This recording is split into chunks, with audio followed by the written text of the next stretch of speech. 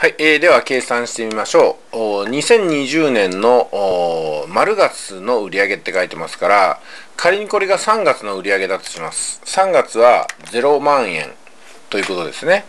で、2019年の同じ月の売上が、例えば40万だとします。40万。ね。で、えー、そうすると、こう2019年から2020年の差額は十分ついてますよね。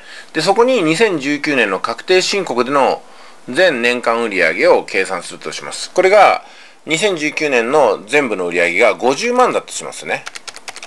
はい。そうするとどういうふうになるでしょうか。こういうふうになります。えー、50万円が、あまあ、給付されるということですよね。